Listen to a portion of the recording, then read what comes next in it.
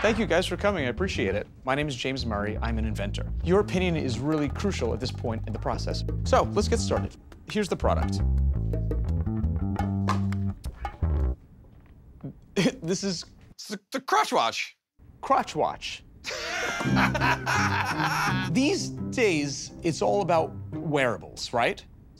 Crotch watch takes that to the next level. I'll show you, for example, how it will work, okay? Let me just. This is worn outside the pants, just so you're clear. Let's say I'm here and I'm in the middle of a business meeting, okay? How rude is it if I go? Less rude is this. I've just responded to a text. Start programming it. I can set the alarm to go off. Just jiggling your nuts. Now, you can set the alarm to go off under the table.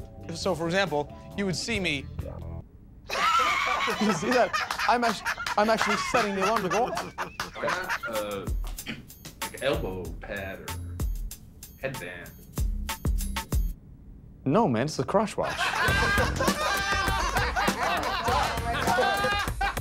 No, man. By show of hands, how many of you think you would actually purchase the crotch watch?